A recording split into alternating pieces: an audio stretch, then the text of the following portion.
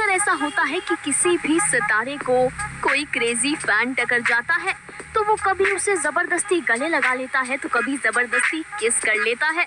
सिद्धार्थ शुक्ला के साथ भी कुछ ऐसा ही होने वाला था। सिद्धार्थ अपने फैंस से कितने अच्छे से पेश आते थे, ये तो आप सब जानते हैं।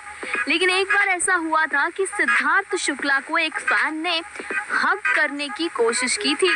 लेकिन सिद्धार्थ ने उस फ़ैन को पकड़कर खुद से पीछे कर दिया। जी हाँ सिद्धार्थ ने उस फ़ैन को खुद के गले नहीं लगने दिया। अब भाई लगने देते भी कैसे? सिद्धार्थ खड़े थे गाड़ी के पास और गाड़ी में बैठी थी सना, जो कि सिद्धार्थ को शेरा वाली माता की तरह देख रही थी। सिडनास के यही खूबसूरत पल तो हैं, जो हम आजकल और हमेशा याद रखेंगे, जो सिडनास को हमेशा हमारे जहन में ज़िंदा रखेंगे। Hash tag सिडनास for